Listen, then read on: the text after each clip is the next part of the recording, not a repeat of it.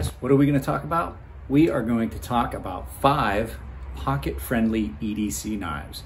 And we'll get into some of the things that I'm gonna describe what I, what I think of as a pocket-friendly EDC knife. But uh, before, before we get into that, you know what to do. If you're watching on headphones, turn down the volume because here comes a little bit of music.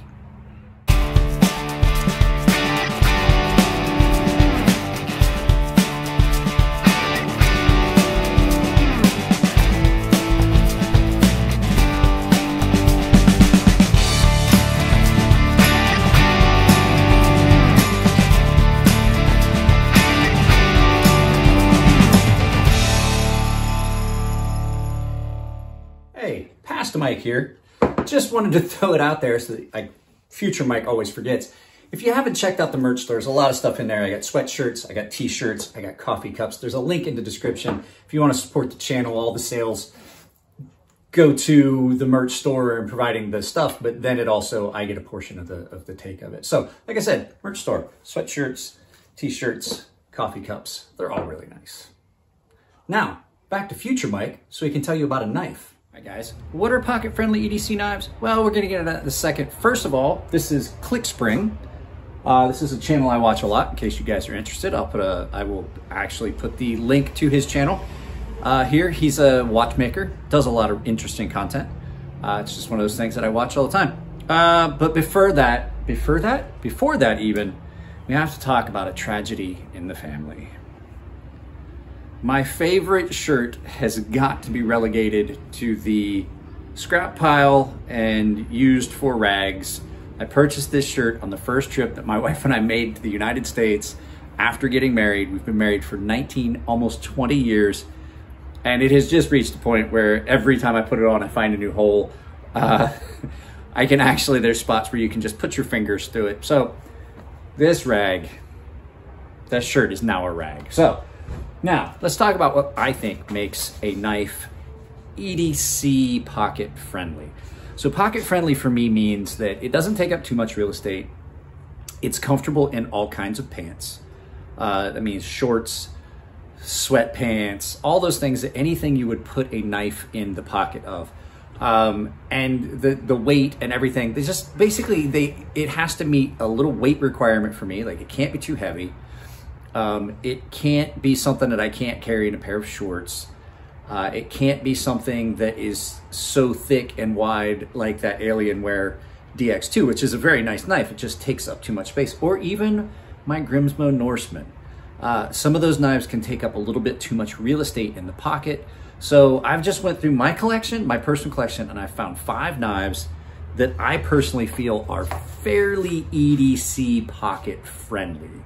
So without any further ado, let's meet up down at the counter and we'll talk about what knives in my collection I feel meet that criteria. So I've got five of them and one honorable mention. All right, guys, so this is the selection of Kniffs that I have got here. So in no particular order, there is one knife that I will point out that I think is probably the most pocket-friendly knife of the five, but in no particular order, you have the Ferrum Forge Gent, the Ferrum Forge Buck, the, as much as I hate to admit it, Benchmade 940.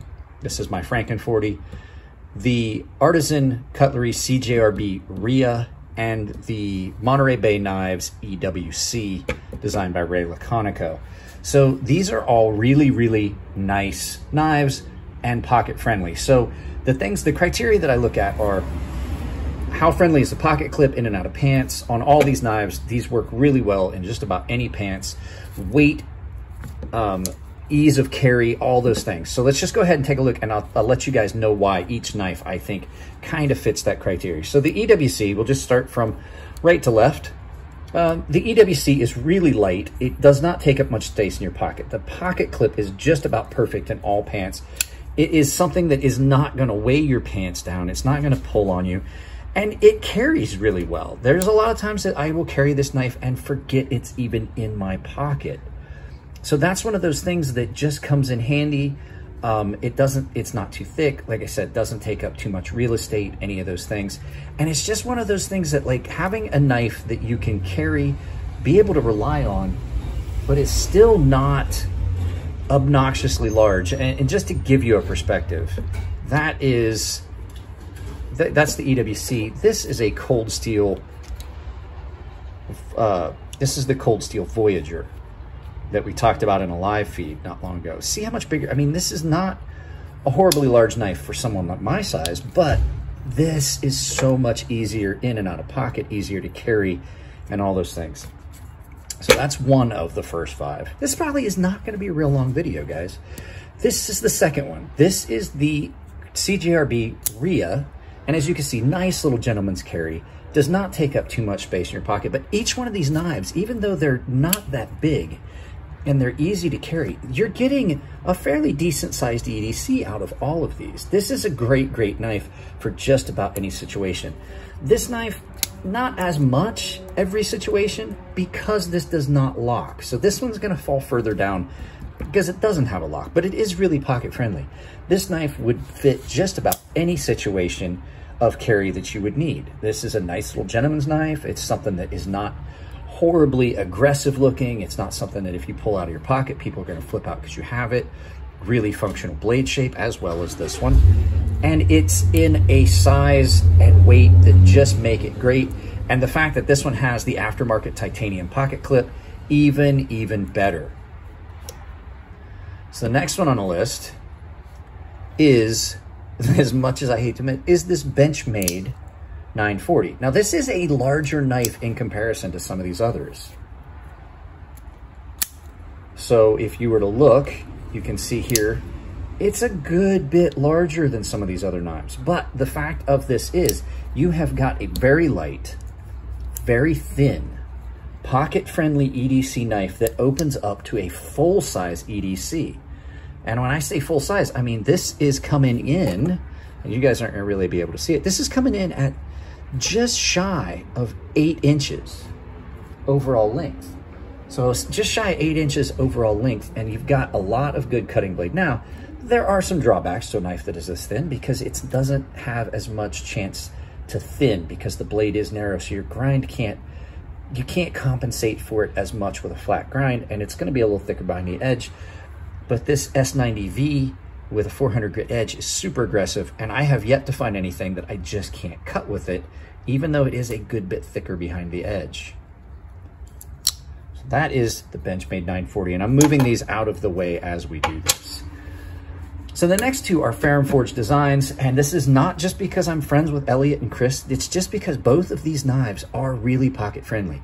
This one is a little bit heavier than the others, but the fact is that this sits really well in pocket. Great pocket clip, a lot like the Ria, a lot like the same size. But what you get with this one is this has a much broader blade. So it has a much wider grind and this gets so thin behind the edge. So you're looking at a package that is a really, it's a really useful, larger Wharncliffe style, cleaver-esque style blade with a thinner handle that you still are getting a lot of good useful blade. You've got a lot of belly, and it sits in your pocket really well and it doesn't take up a lot of space. Does it take up more space than some of the others? Yes, absolutely.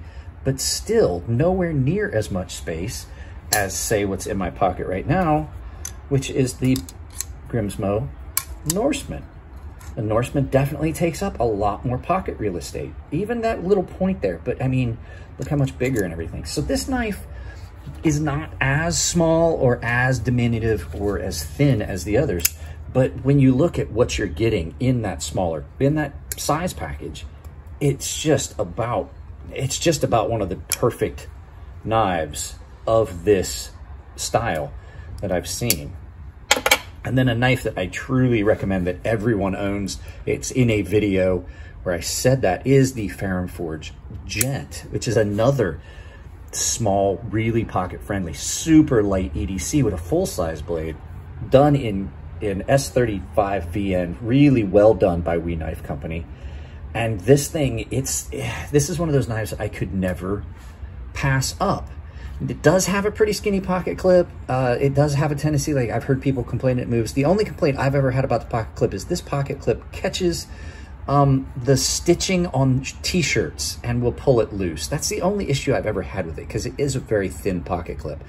super light. The action on it is great. And it is, it's one, once again, pretty much a full-size EDC in a small package that is not going to bar you from taking things out of your pockets, things like that. And the nice thing about all of these knives is I can carry these knives, any one of these five knives, I can carry it and still carry another knife in my pocket if I want to. And you guys know me, I'm a weirdo. There's times that I'll have three or four knives on me.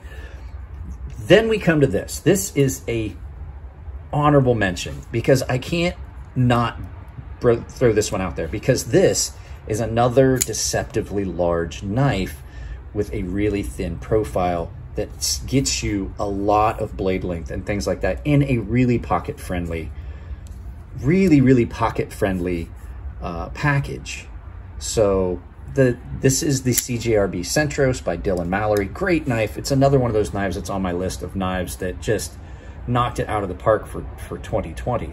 So for me, in, in my, in, you know, in mine. So let's go ahead and we're going to take a look at these. And I'm going to tell you right now, there is one of these knives that I honestly think is your best choice for EDC as a pocket-friendly EDC that it would be the easiest to carry every day.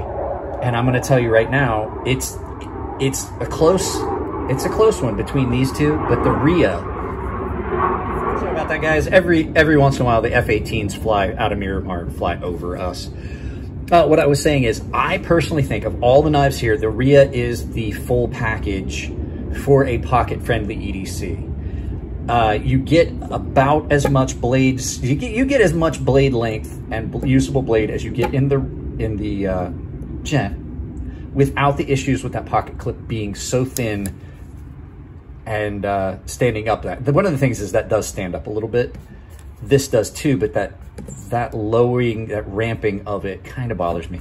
This gets you much less chance you're going to snag a t-shirt on it it is a really attractive package. It's light, and of these two, these would be the two that I would say would be the top two. This one just kind of edges out the gent a little bit. And a lot of people is like, oh, you always, Brett, you always, you always talk about the EWC. You always talk about the EWC. And I can't say that the EWC would be my number one pick just because it doesn't lock. It is basically a slip joint it's a double detent. It's basically a slip joint, and there's a lot of people that that's just not for them. So this one, a lot of people don't like the blade shape, and then I just, this has enough other issues with it just because the way Benchmade does things that I, I honestly think that even though this is a much pricier knife, I think the Ria just beats it. This gets a lot more pocket time than this, and this gets a lot of pocket time. So, guys, that would be my pick for my most pocket friendly, and these are just from my collection. This is my pick for the most pocket friendly knife in my collection. And I would definitely not hesitate to recommend it to somebody that wants a smaller knife for everyday carry that's not going to break the bank and it's not going to take up a ton of space in their pocket. And it's just going to be something that you're going to love to carry. So with that being said, guys, let's turn this around and do some final thoughts. So guys, like I said, that's five knives that I personally think are EDC friendly, pocket friendly knives that that are ones that I have had and carry. There's a lot of other ones out there. Uh, there's a lot of smaller knives, and uh, I saw somebody did a video about wire knives getting smaller. Um, I'm not sure if that's a bad thing. You know, there's a lot of knives out there that are great. Like I said, I love my Norseman, but it is big and there's times you just can't carry something like this. This is not a public friendly knife. This is not something you pull out in public because, well, people are skittish and people are sheep and they immediately think you've got a weapon. So, you know, as stupid as I may think that seems to them, it, it is the perception is reality. If you pull out a knife, you're pulling out a weapon in their opinion. So, you know, those are some of those things that are just kind of not that difficult to carry there is another knife that I wanted to use, but I couldn't quite find it. Not all of my stuff's completely unpacked. And that is the Cold Steel Tough Light. Uh, my father got me a Cold Steel Tough Light a few years ago. That is another great pocket-friendly EDC knife. Really good if you like to carry hip pocket, because uh, it's nice and thin. But, so, that's it guys. If you want to check out the ClickSpring uh, channel that I was talking about, there will be a link in the description, right, you know, right there. I'll put a link to his channel in there Um, guys, if you like the content, give them a thumbs up. If you don't like the content, give it a thumbs down. I hope you like the new format and things that I'm doing. I'm trying to change some of the production quality and make it a little bit better. Not necessarily make it too refined because I do want it to be just like a bunch of friends sitting around talking about knives. But the flip side of it is I do want it to look nicer. And so I thought this would be a way to kind of do backdrops and things like that. So I say, if you like them, give them thumbs up. If you don't like them, give them thumbs down, but tell me why. If you really like the videos, you can give an applause, which is like just giving me a tip for a video that you really like. And if you really want to support the channel, because like I say, guys like me and Jared and, and some of the other guys that do these knife videos, we don't get a lot of ad revenue. We're not like some of the great big channels out there. Can't do this for a living. And so if you want to support us, I know Jared has Patreon. I've got memberships in Patreon. I prefer that you do the memberships. I get actually more from it. It's easier. Um, memberships get you exclusive content, giveaways, things like that. I have the merch store that you saw past Mike mentioned, but there's also a link to my affiliate link with Ember Shirt Co. Uh, where you can purchase shirts with my affiliate link. Any of the shirts that are for sale on there, if you use my affiliate link, you actually contribute to the channel. It doesn't matter what pattern you, you purchase. So, guys, please keep it clean in the comment section. I love you all, and I will see you in the next video.